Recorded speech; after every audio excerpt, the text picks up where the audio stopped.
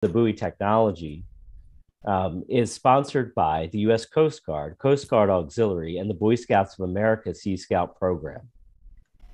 I'll be coordinating your questions along with Peter Sargent on the live stream, and we'll answer have time to answer any questions you may have after the presentation. But feel free to post those questions in the chat at any time.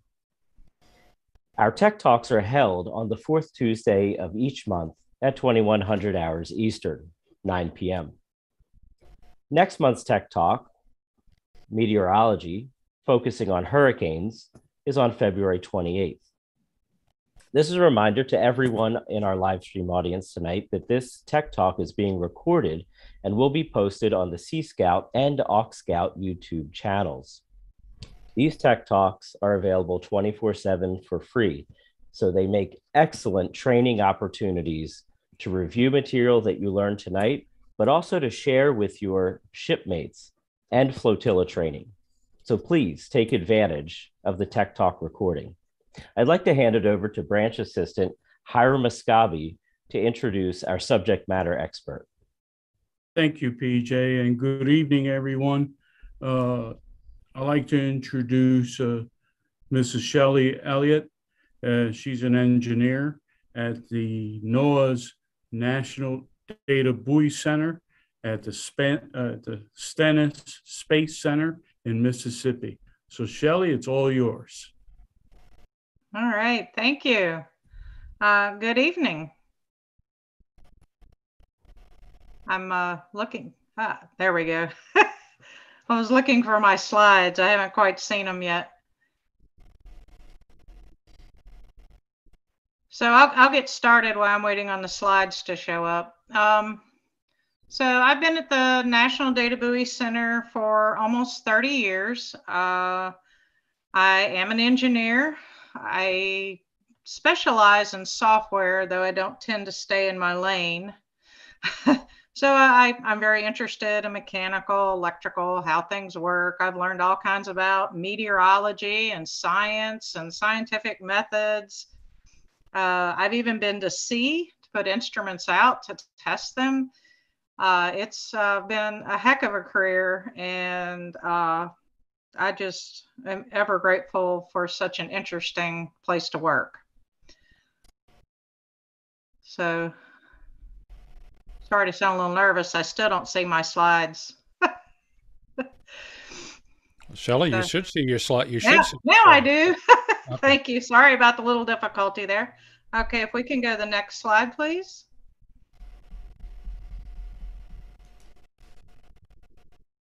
All right. So, like I said, for 30 years, uh, I've been working at the National Data Buoy Center as a software engineer. I have degrees in electronics, computer science, and mathematics. Um, I have worked on almost all the systems at NDBC, doing designing, coding, testing, and documenting software. Um, the software I've written has run on large servers, desktops, and embedded systems. Embedded systems are my specialties. So in our buoys, we have what we call firmware.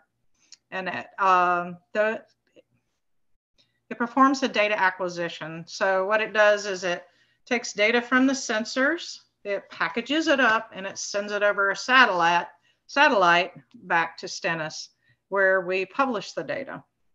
And I'll get into that a little bit more um, later on. At this time uh, at work, my primary job function, being a mature worker, uh, I am now focusing on managing and participating in projects that benefit the systems managed by NDBC. So when you enter a career, you often come with a skill set, something out of college but where you start is never where you end up. Otherwise, you would be standing still. So, as you grow as a person, you grow as a team member, you learn how to to manage information, how to, to um, take problems apart, how to do presentations. That's something that you do as you grow as an engineer. And eventually you end up managing people and things and and that's just the natural order of life. So when you start your career out of school or the military, which is a fine place to get your initial training, you might want to be looking down the tracks as to how to develop yourself so you end up where you want to be. Um, so, so what qualifies me to talk to you tonight is um, number one, I'm a mom. My oldest child is 38 years old, so I've been at that a while. And I also have a son, in addition to my 38 year old daughter. Um, I was a scout leader for 14 years. I did Girl Scouts um, all the way through with my daughter's troop. I dabbled in Boy Scouts uh, with my son. And I have to honestly say, I'm a little jealous. If uh, Sea Scouts had been on my radar, I'd have been there when I was a kid. it just sounds like such a wonderful program. I've always loved the water. I've loved sailing and snorkeling. Um, I did a lot of scalloping as a child growing up, it's just hunting for shells. Just it was just a wonderful thing to see dolphins playing in the um, the bow. So I if I had known about Sea Scouts when I was growing up in Panama City, Florida, I'd have joined up.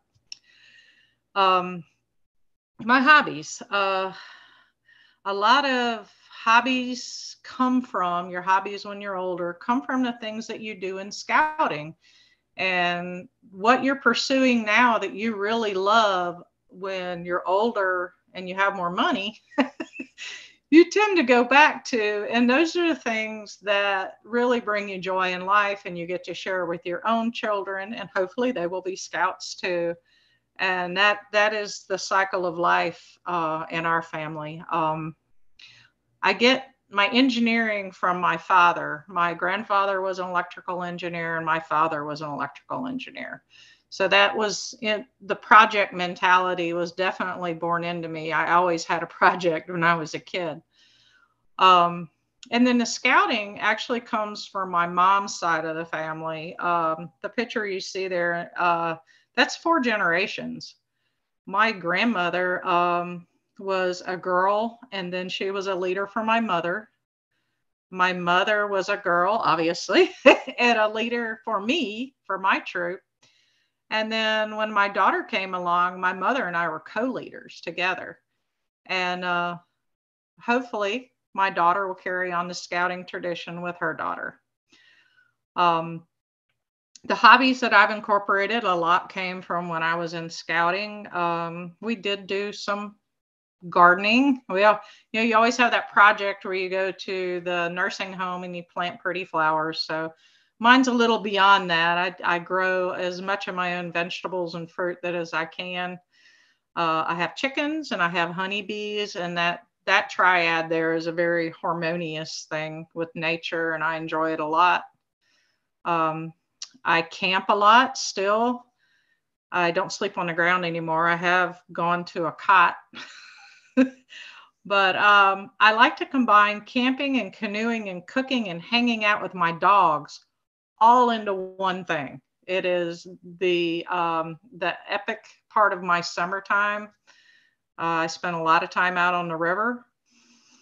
Um, and then the other thing I like to do is the arts and crafts um, that go along with scouting.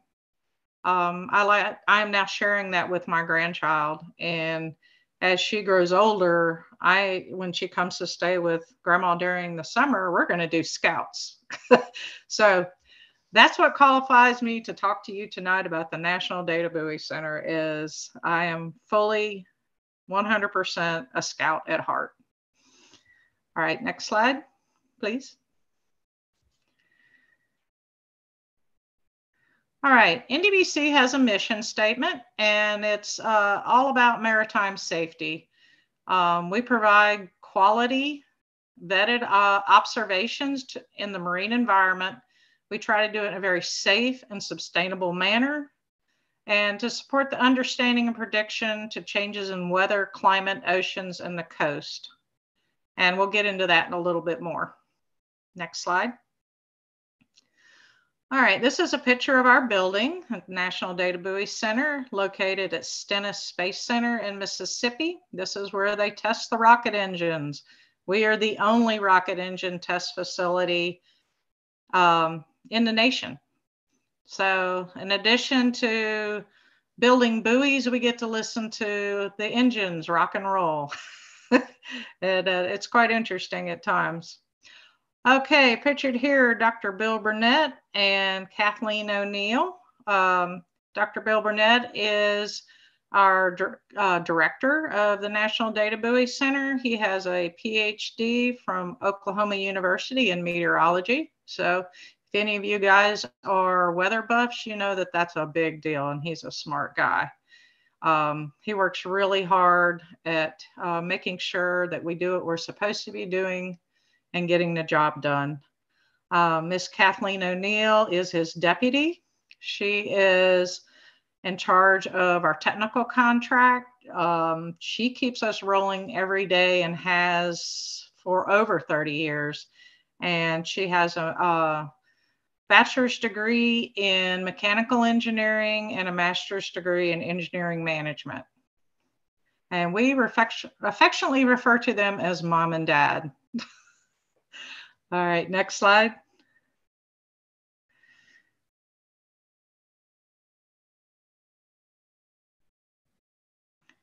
Thank you. Uh, NDBC has a long history. It was born in 1970 at the Stennis Space Center and was under the U.S. Coast Guard. Uh, the creation of the National Data Buoy uh, Center was in response to Camille. Hurricane Camille absolutely tore the Gulf Coast up in the Mississippi, Louisiana area. It was the baby version of Katrina, which came in 2005. Um, the Buoy Center was the first federal agency to join NASA at Stennis. Uh, that was right before the Navy joined. Um, later, it was moved for, out from under the U.S. Coast Guard and became part of NOAA and the National Weather Service. Um, I don't know who made that decision, but uh, we still rely very heavily on the U.S. Coast Guard to help us service our bu- buoys. We ride their ships, and um, they're an indispensable part of everyday life and planning for us. And we always have a batch of those guys working with us. Um, you notice the big buoy, 42001, that's a 12 meter buoy. When we first got started, we really thought bigger was better. And we found out that these really big, huge buoys in big storms flip over, amazingly enough. Then we went and we tried something that was more boat shaped and that worked fairly well. And um, it had its advantages of pointing, you know, being able to point into the wind. And from there, we moved to various sizes of, of approximately three meters. And that was our standard for a very long time for buoys. And we still put out some of these three meters basically because we own them and they're big enough to put some of our equipment on. Our most recent advance, we went to what's called a 2.1 meter buoy, and that's the one all the way on the right uh, with our latest payload on it. So you can see in, a, in the time that I've been there, even we were still putting a few of the 12 meters out. We've made a tremendous uh, size difference. We, we have gone down to almost what we would call a miniature buoy. And you would be absolutely amazed how much better a cork does in the, in really rough ocean. So we've learned a lot over the years, and this is where we're at. All right, next slide.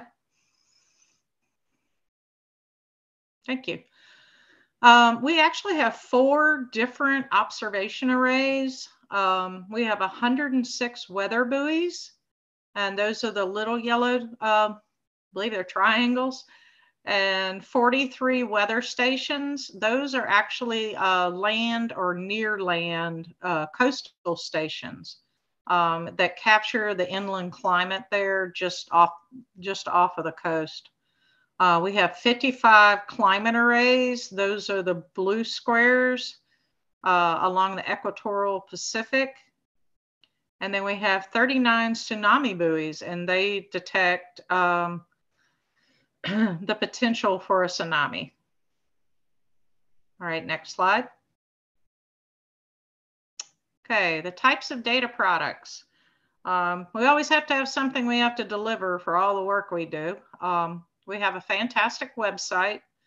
I highly encourage you to go out there and look and see what's around where uh, you like to sail.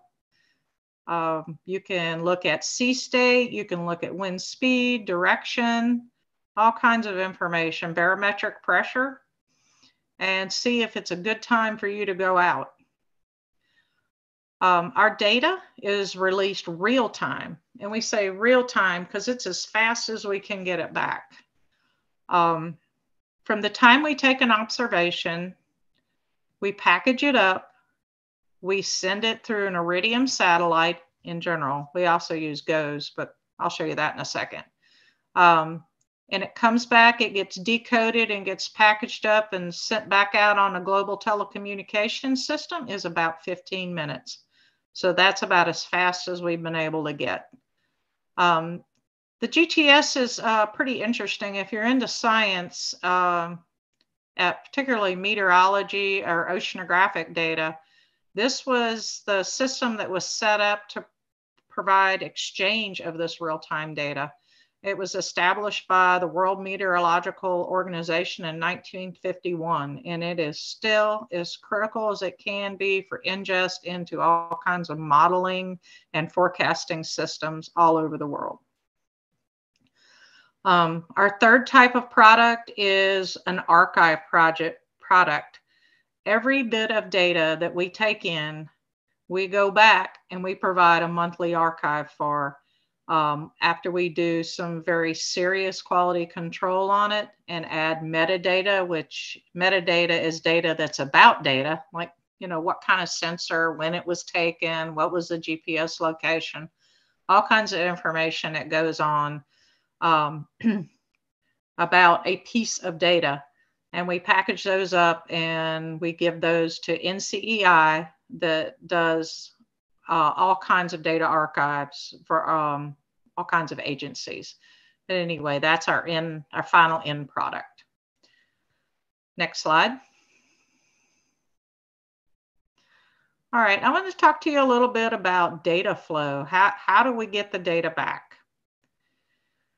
So we have satellite transmitters, and depending on um, which array that a buoy belongs to is exactly which path it takes back.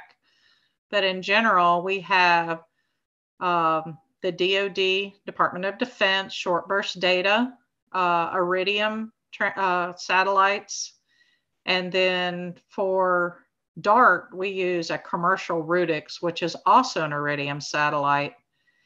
And DART is our tsunami data. And then our uh, which is our most um, aged uh, data system, is still using GOES. And uh, when you GOES is the National Weather Service satellites out of NESDIS. So we're still using GOES to get our C-MAN data back, and that should be soon converted to uh, probably Iridium. We're looking into our options. Um, we also ingest partner data and help them get to the GTS. So we do a heavy lift, not just for our own data buoy data, we do other people's too. Okay, if you go to the next slide, please. I thought you might find it interesting to see the picture of the entire buoy. So I want to talk a little bit about the data transmission. Um, for our DART system, which is our tsunami system, the smarts are actually in the bottom pressure recorder that sits on the uh, ocean bottom and measures uh, head height in millimeters.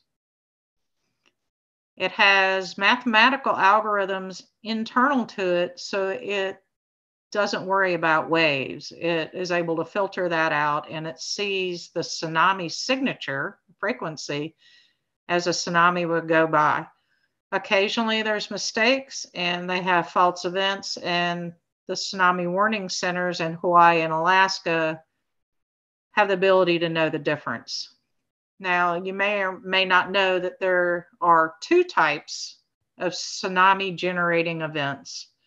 Um, we have the typical plate tectonics, uh, slip strike type zones. Um, those can generate a tsunami. The other thing that can generate a tsunami is a huge landslide.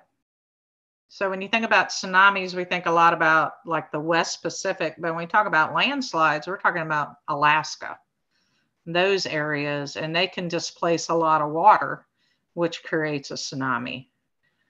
Um, so what we do with the data when it's uh, is detected that there is a potential for a tsunami, that data is transmitted to the surface buoy. The surface surface buoy then relays it to the Iridium satellite, and then it's off for processing and dissemination to the tsunami warning centers. Um, very interesting moorings. Um, I like moorings. Like I said, I dabble a little bit in the mechanical part because I, I like it. Um, we actually use huge railroad type wheels as anchors um, for some of our systems. And for other systems, we use stuff that's called a rock. It's 2,500 pound square piece of concrete that we anchor the, our buoys to the um, ocean floor with. And you see on the right side, that is an NDBC SCOOP payload. That is our latest um, meteorological and oceanographic uh, data acquisition system. And we um, we use both RUDICS and short burst for that iridium. And the RUDICS is for camera pictures. So if you go out to some of our SCOOP buoys you will see that we have six panes of data showing you the pictures that the buoy is actually seeing which can be quite fascinating um, we found that there were birds in the center of a hurricane this year they were trapped and we caught pictures of them so I thought that was kind of fascinating. Um, and once again, it's it's a, a system that transmits, and we transmit on regular basis. Uh, like our meteorological buoys, we transmit our data every 10 minutes. So we get it back pretty fast and get it out pretty fast. All right, uh, next slide. All right, I wanted to show you the uh, weather buoys. This is another one that's uh, it's a three meter foam and it has seal cages on it. We have problems on the West Coast where seals like to get on our buoy. So we created cages where they couldn't get on there. Um, and you'll see that we have um, solar panels that keep our batteries charged so we can keep going. Um, we don't rely on just batteries. We actually have a charging system to keep our batteries charged. So it's kind of kind of like uh, plugging your cell phone into the sun.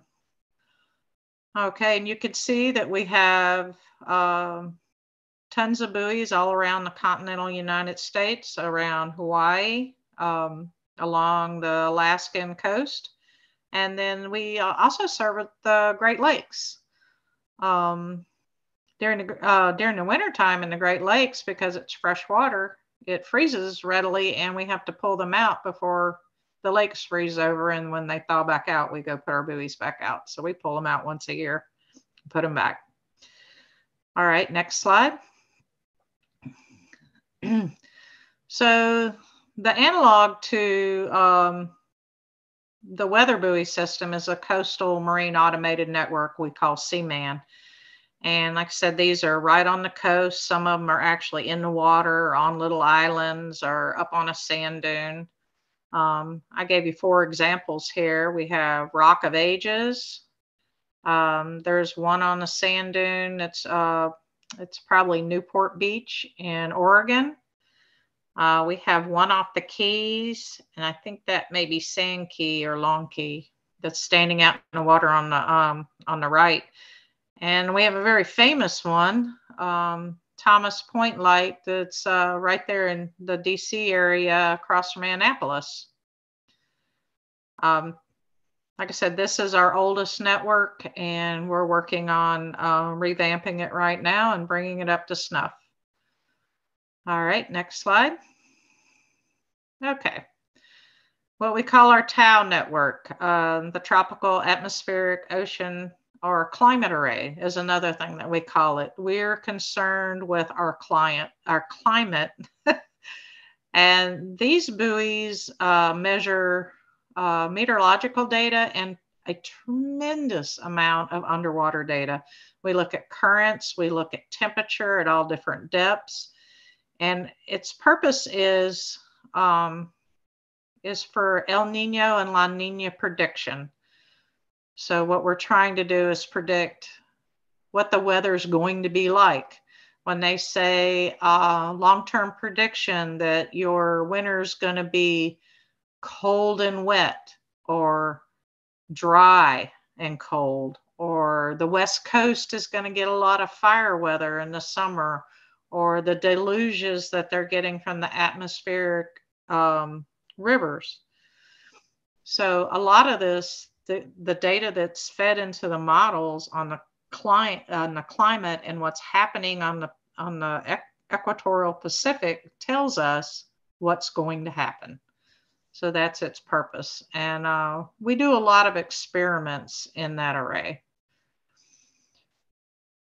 It's, uh, I would say it's probably our newest one. Uh, TAO and DART are very, were developed around the same time. And I think TAO's the newest. And we're in the middle of refreshing it too. All right, next slide. All right, our fourth array. Um, the Deep Ocean Assessment and Reporting of Tsunami at START. We have 39 of these, and as you can see, they are around the Ring of Fire, and we also have um, a few off on the East Coast, but the biggest danger is on, on the West. As you can see, there's the bottom pressure recorder that's on a sled. We actually um, anchor that to the bottom. We have an acoustic release, so it'll pop back up when we uh, come to recover the buoy. And then the buoy is on a separate mooring that's almost on top of the sled, which is a whole trick in itself, is to be able to drop two pieces of equipment and for them to align magically and be able to report. All right, next slide. Okay, so you may ask, so how do we get to all these buoys? Um, so for the buoys, we use a commercial vessel called the, um, the Bluefin. And you can see very vaguely our yellow buoy sitting on, on the, the deck. It has a crane and it has an A-frame in the back. And I have a movie for you that we're going to watch in a little while that, um, that shows night ops on the Bluefin. So it works a little differently than a Coast Guard vessel. Um, the Coast Guard vessels that you're looking at are all buoy tenders. They're either 185 feet long or 225 feet long. The, um, the Sycamore is, if it's a tree, it's 185 feet long. Uh, this is a Coast Guard tradition. I don't know exactly where it comes from, the naming convention. So I would say, no, the Sycamore is the 225. And if you see the little slot on the side, you can see that there's a crane and then that slot allows them to sling the buoy over the edge very gently, set it in the water. Uh, the Marcus Hanna and the George Cobb, those are named after lighthouse keepers. That, that is a uh, fine tradition. Those are the 185s um, of the uh, U.S. Coast Guard. So if you see a boat with a name like that, then you know they were a lighthouse keeper. Um, we also use Coast Guard helicopters. Some of our um, C-MAN sites, that's the only way we can get there is we use the Coast Guard, Coast Guard helicopters and they lower our guys down in, in um, baskets with their equipment allow them to service our station, and then they pick them back up. Uh, in this picture, they're actually manipulating and I think they're setting down uh, a damaged buoy that they had recovered for us so we can come and get it.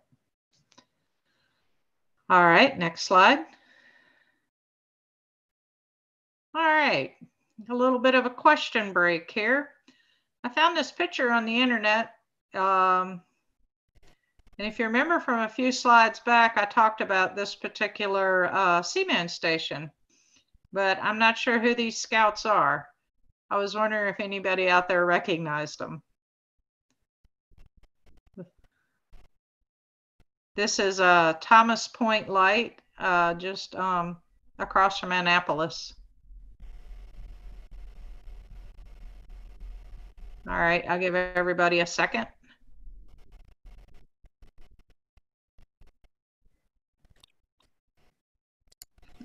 No comments so far. No comments so far? All right.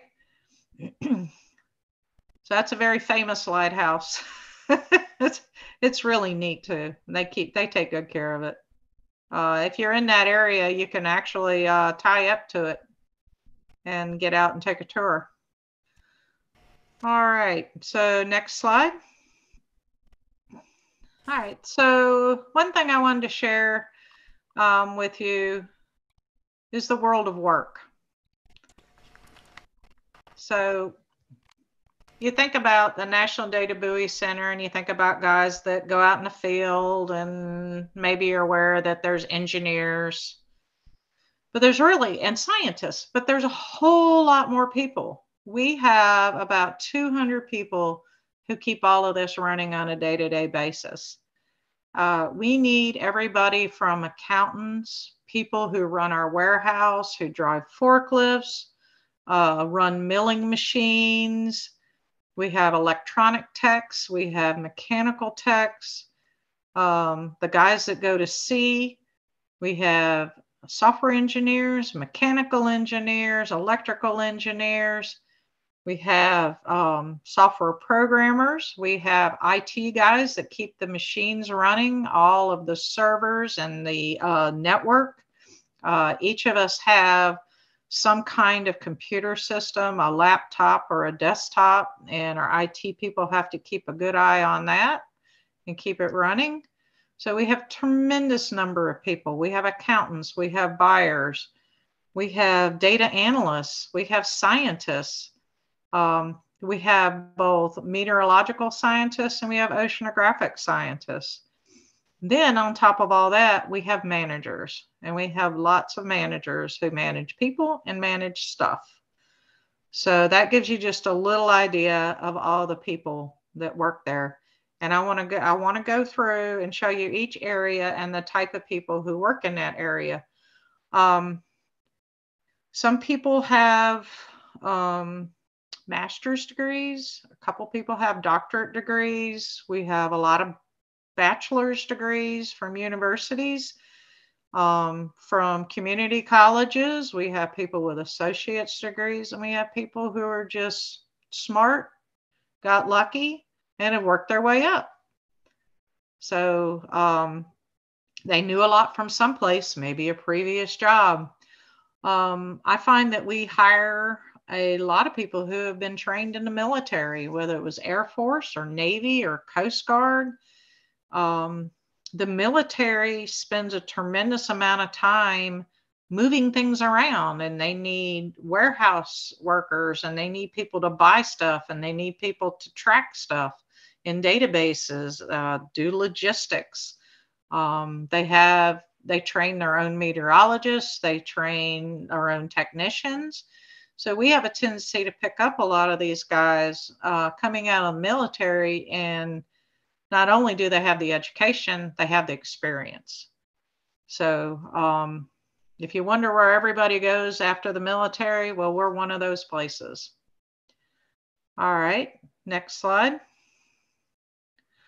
All right, um, engineering uh, builds the payloads, designs them, writes the firmware that go in them. When I say a payload, I'm talking about the data acquisition system that actually takes the data from the sensors, formats it, packages it up, and sends it over the satellite satellite back for processing and dissemination to the public.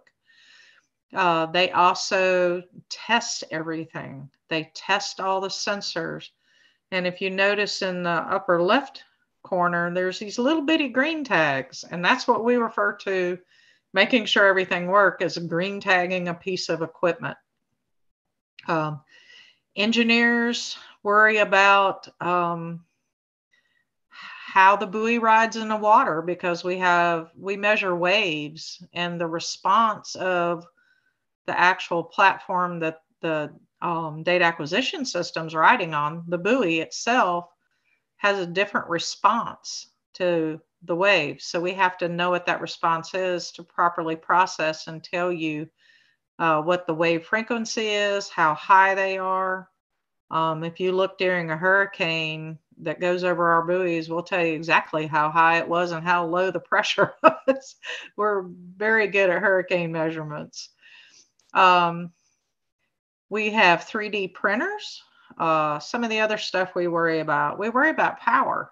We have to make sure that our batteries can adequately uh, provide power um, regardless of where they're at. We can't totally rely on sunlight and we can't totally rely on batteries. So we have to have some kind of combination. And we have electrical engineers whose sole focus is to make sure that our systems are powered properly. Um, we have mechanical engineers who create the packages that these things go in. Um, they worry about tying them to the bottom, moorings. Moorings is an incredible field on its own. It is fascinating. Um, our moorings are not all chain, they're not all rope. There's a combination. We hang instruments um, underneath our buoys on the moorings, so that's a challenge. They have to know how many floats. They have to know how long the mooring can be. Um, we talked about the DART system, how we put the uh, bottom pressure recorder on the bottom, and then we have to moor the buoy almost directly over it. And so the mooring is very what we call taut. It's tight, very tight. And um, so we have to be very careful about that, what, what the length is, how we tie it to the bottom. So there's a lot of aspects of engineering. Um, and engineers do a tremendous amount of work to make sure that what we put in the water is one, deployable, Two will stay there and last. And three will provide good quality data. Um, it, it's, it's, uh, it's where it starts. So somebody says, we need to take a measurement. It's going to start in engineering and it's going to be a lot of people providing a lot of input to make sure that the right data gets to the right people at the right time. All right, next slide.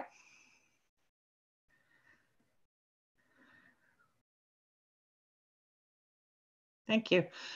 Okay, so after engineering's done its job, now comes operations. This is the group that I work in.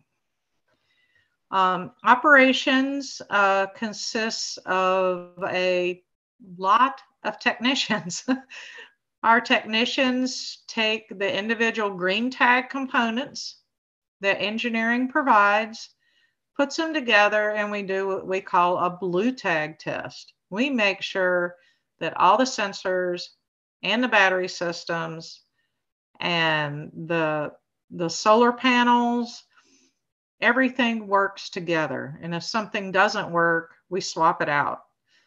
So and then they undergo a burn-in test called a blue tag. And then that system is glued together for deployment. Um, they also get all the yellow holes all ready to go. Uh, we have welders, we have um, machinists, we, we have guys that operate the water jet, the CNC machine. So um, we also have a 3D printer and a um, injection molding machine. So we do a lot of manufacturing uh, right where we're at. So we, we actually call ourselves the buoy factory. Um, we have people who who take care of making sure that all of this equipment gets packed up properly. Um, and you'll see some pictures here in a minute what it looks like once they get all packed up. But they make sure that that gets on a truck. So they have to order the truck to come pick it up. The truck has to take it to the port where we want it on time to be loaded on the ship.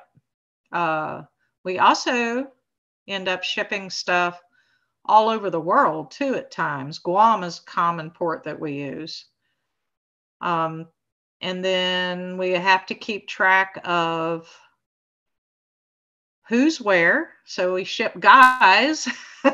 that to make sure we have hotel rooms and berthing on ships and plane flights and we know who's going to be out there and what they're going to be doing on what day and when they're coming back and when the next crew is going to be there. So there's a lot of coordination and scheduling that goes on, and people who have to keep track of it, decisions need to be made. And often those decisions have to be done uh, on the spot. So they have to be very experienced and have uh, good judgment. Uh, we we do the most planning we can, but we do know how to adjust our sails. Okay, so next slide. Okay, I have a little movie for you. Um, we're going to need to mute the movie once it starts. It's got some really industrial sounds that are kind of irritating. Um, but this is a night ops on our bluefin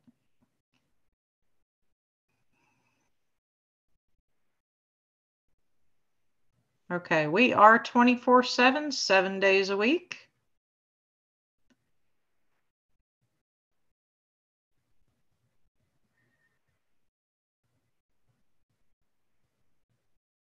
All right, so we're putting out a SCOOP, the payload, a three meter. The SCOOP payload, if you remember, is a weather buoy.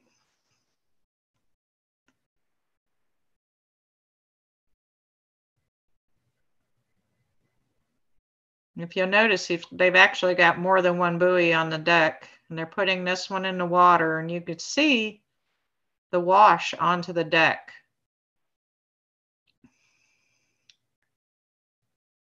They're actually slowly putting it out into the water, and you'll start to see the surf.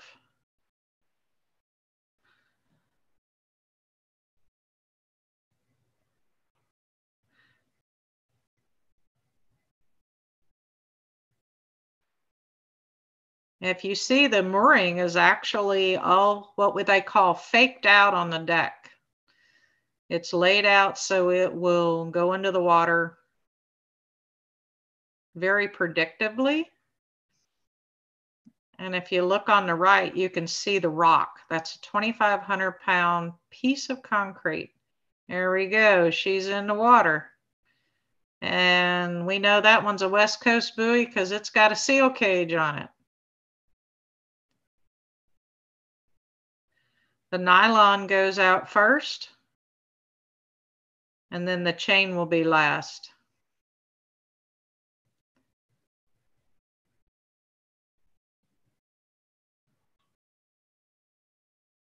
So when our guys go out on ships, they don't just work during the day. They work when they get there. It's very location dependent.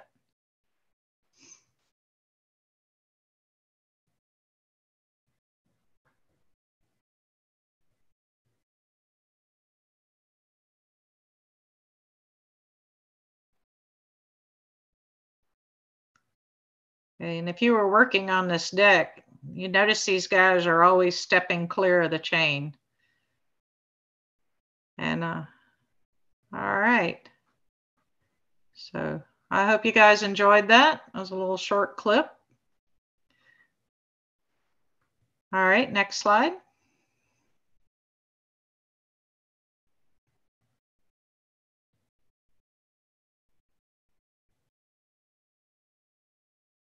All right. I thought I'd give another little question break, see if anybody had any questions while I'm waiting.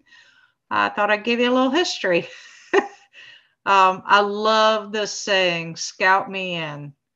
That is just a phenomenal saying. Be prepared as all scouts. Um, little history that um, Sea Scouts came about in Glidewell Park, United Kingdom on July 1909. And it was Warington Baden Powell, brother of Robert Baden Powell, who came up with the Sea Scouts. Um, Robert Baden Powell, also known as Lord Baden Powell, founded Boy Scouts. And he had a friend named Juliette Low who founded Girl Scouts shortly after Boy Scouts. So we're it's all a big family affair here, I think. Um, and I think that many, many of us have benefited from scouting. Um, so, and I found this picture of um, Walt Disney's Donald Duck Sea Scouts. So I thought you guys would appreciate. Um, this came about as a radio show in 1939. So tremendous history with Sea Scouts here. And uh, it's really an honor to be able to talk to you guys about the National Data Buoy Center. Um, do we have any questions? Okay, so if there are any more questions from the live stream, uh, Peter Sargent will filter those over. Um, one interesting thing about the West Coast buoys with the uh, seal cages, um, just thinking about, you know, animals obviously could could damage the buoys as they, as seals might like to ride the buoys or things like that. Um, how about birds? Do you get significant buoy damage from birds? And you know, I mean, what can you Yeah. do about it? You know, what you know these these uh, challenges from the wildlife. Um, I, our biggest problem with birds is fouling up our solar panels. And the best we can hope for is some big waves or some uh, nice rain. uh, we do we do have birds do an interesting challenge. Um, actually, when I the last time I went to sea, we were jumping those big 12 meters, and they have like a catch bar because it's so slick when you jump on the buoy because of the birds that you're kind of sliding through all that. So it's a little bit of a job hazard. and you have to catch the bar so you can um, not slide off the other side. Um, but yes, birds are a challenge. Um, I think people are the biggest challenge. Uh, we have in our TAO array on the western side, we have a lot of problems with uh, fishermen Hmm. slingshotting our buoys. So when when you have a buoy, you have a little island that creates a little bit of shade and attracts um, fish, and they begin, you know, they create an ecosystem really fast. You have algae and all kinds of things going on. Well, fishermen know this, so they tie off our to our buoy and they pull it as tight as they can and they let it go in a slingshot effect and they scoop up the fish. So our response was to put some cameras on our buoys. Wow. So then they started putting bags over our cameras. so it's it's a constant thing. Uh, we've tried signs, we've tried sounds, and we just you begin to accept a certain amount of loss. Um, we've had uh, big cargo ships just flat run over our buoys. So that kind of thing happens. Uh, we had a guy, uh, a guy, I say a guy, I guess it could have been a girl. Somebody decided to shoot one of our buoys um, on the West Coast. And what they didn't understand is we had lead acid batteries in there, and sometimes uh, hydrogen gas builds up, and it was an explosion. Right. So it was pretty bad. so, um, so it, it's nice to to use the buoy data, but don't use the buoy. Leave that there for all of us. So, it, like I said, it's a little bit of a challenge. Uh, I'd, I'd expect the the boat to buoy or ship to buoy contact, but you know some of those other cases. Never expected me to hear about vandalism to buoys at sea. That is, it's incredible. It happens.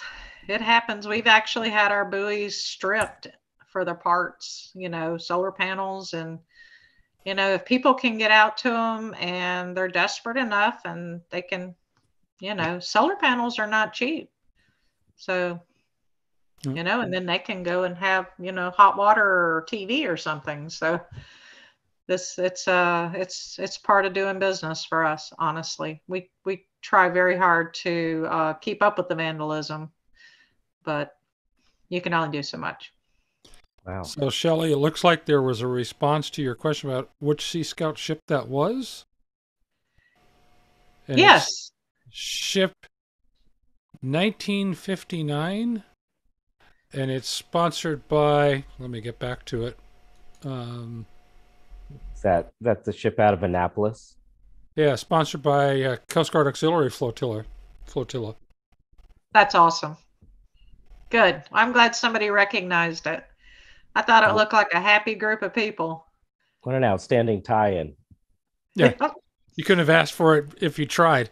that was fantastic And the Thomas Point Light is an iconic fixture um, in the Annapolis area in the Central Maryland Bay in the Chesapeake. Good deal. Well, I highly encourage you if you're there, go out, take a tour, and go. I know whose anemometers those are. Ours are there.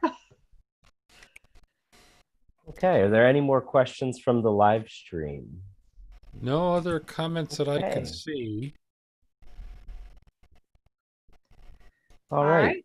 Well, then I'd like to thank you very much, uh, not for done. for not- oh oh excellent. oh, okay. Question break. Go for it.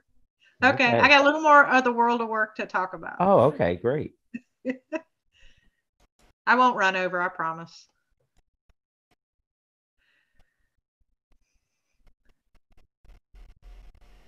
Okay.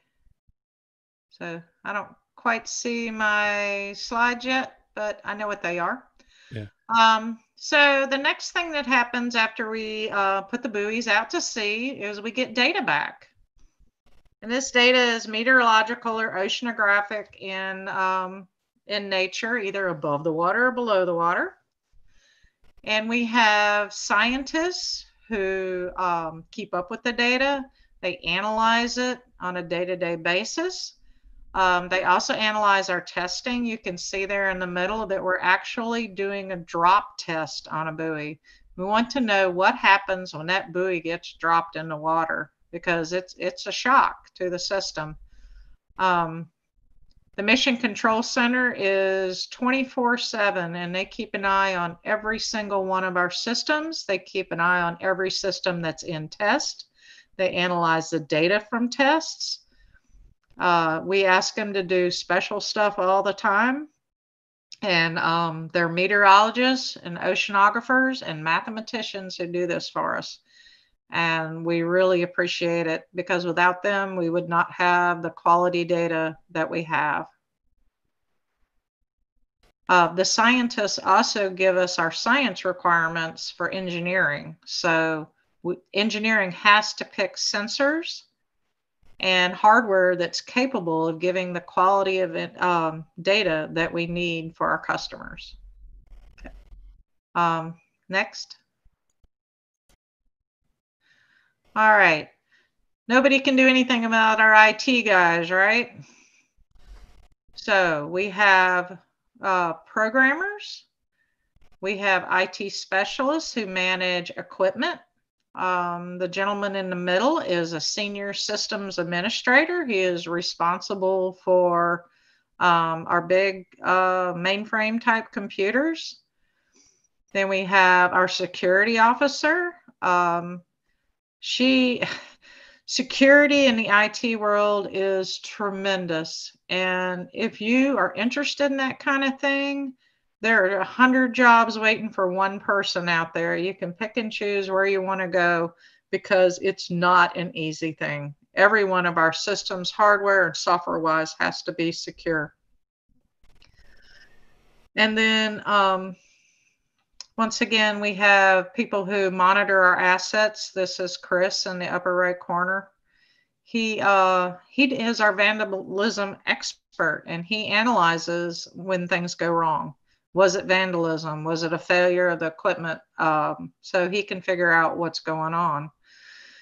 These uh, the young lady, um, our IT specialist in the red shirt, uh, Cynthia said that she wanted me to make sure that I mentioned that she came into the government. She's an actual government employee. She's not a contractor, but a government employee who came to us through an internship called Pathways. That's a government internship program. And when you finish your internship, you are converted non competitively to a government position. She wanted to make sure that everyone knew that that was available. Um, there are tons of internships out there. So um, there are some that are actually for people who have gradu- just graduated from high school all the way to recent graduates from college. So generally, an IT person has a bachelor's degree. So bachelor's or master's. Um, if you're interested in management, there are uh, IT management specialties. So this it's just a whole wide open world for IT and they're everywhere and we need them. All right. So next slide.